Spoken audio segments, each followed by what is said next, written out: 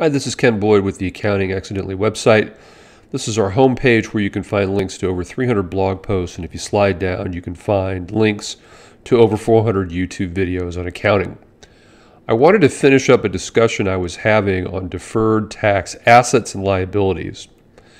And we have a situation where depreciation for taxes is different than depreciation for book or accounting records, which you see here.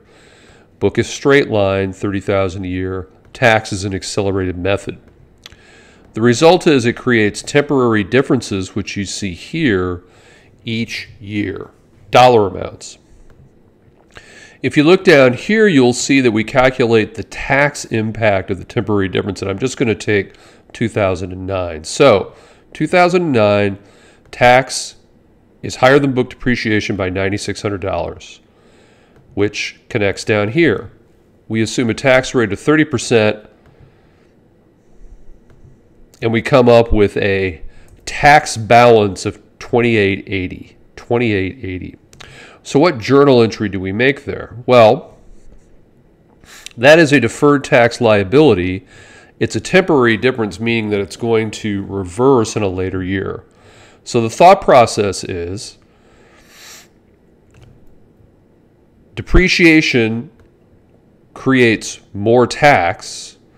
More tax creates a lower liability. And if there's a lower liability this year, that means there's a higher liability in later years. Hence, you have a deferred tax liability. So the math if your income tax expense is $9,000, the payable amount, the check you write to the government, is only 6120 and the difference is a deferred tax liability. Now let's talk about the reverse. In 2011, book depreciation is higher than tax. Here's that difference. And you'll also see that it's a cumulative number that goes across. So the cumulative number in 2011 is 20,400. Multiplied by a different rate, 40% brings you down to 8160 in blue we say that we this is the balance from the prior year therefore the change is a credit or a deferred tax asset a deferred tax asset because we're going to have a future higher tax deduction. So this created a deferred tax liability this creates a deferred tax asset. So let's go down and see how that occurs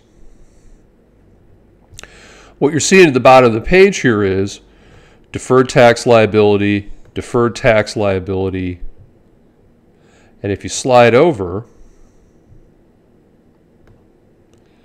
you'll see in the T account deferred tax liability here, and then there is that 1560 deferred tax asset that's a debit to the account because it lowers the liability, if you will. So in these years where we have a deferred tax liability, we credit the deferred tax liability account.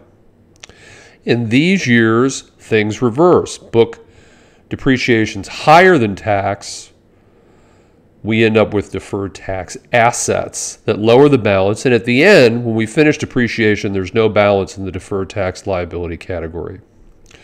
It's complicated. You may have to watch this a few times, but that's how things end up with a temporary difference between book and tax depreciation. Remember that we now offer classes through Conference Room. If you go to Conference Room here and hit Explore, you'll see on the left side both events and courses. So if I click on events at this time, this time of this recording, you'll see that there are three courses that you can join and if you click on each of these, you'll find out information about the course, how to attend, and you can RSVP here. Thanks for watching, and we'll see you next time.